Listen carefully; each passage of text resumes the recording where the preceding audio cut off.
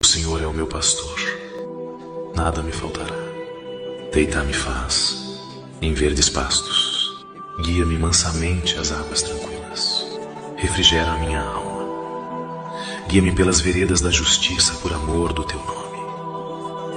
Ainda que eu andasse pelo vale da sombra da morte, não temeria mal algum, porque tu estás comigo. A tua vara e o teu cajado me consolam. Preparas uma mesa diante de mim, na presença dos meus inimigos.